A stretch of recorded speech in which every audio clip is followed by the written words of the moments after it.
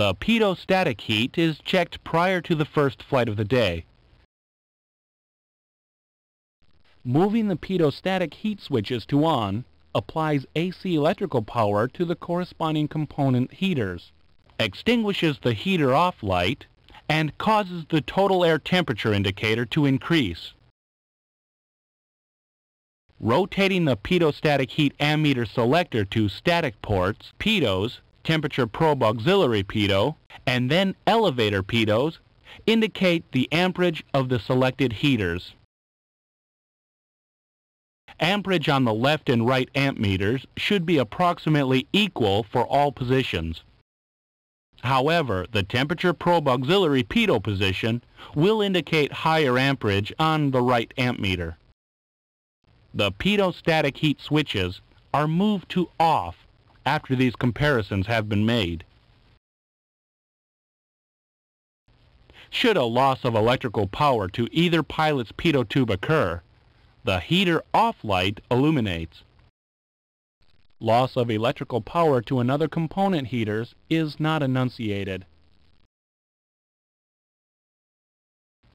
Electrical resistance heating is provided for the L1, L2, L4, L5, R1, R2, R4, and R5 windows for anti-icing, anti-fogging, and increased impact resistant.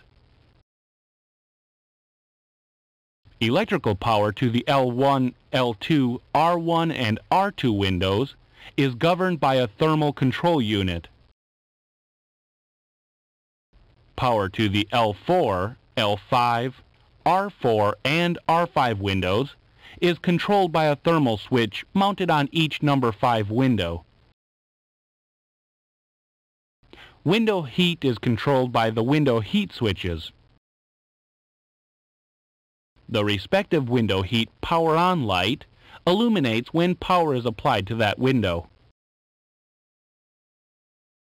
When window heat is required, placing the four window heat switches to on applies heat to the associated windows and illuminates the power on lights. The window heat system may be tested using the window heat test switch. If any power on light does not illuminate, position the test switch to power on test. Selecting the power on test position overrides the thermal control units and directly applies power to the L1, L2, R1, and R2 windows and illuminates all power on lights. A window heat power on test should not be performed when the ambient temperature is below 40 degrees Fahrenheit due to possible window damage.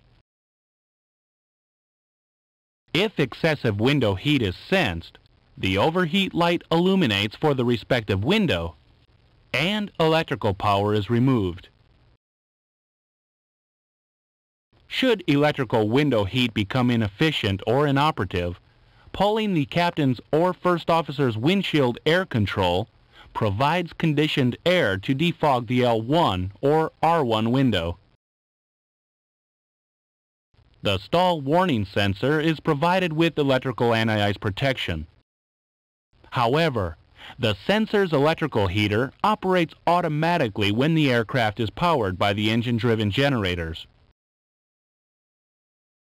The water drains are also electrically heated, with no control from the cockpit. Low voltage is provided on the ground, and high voltage is used in flight.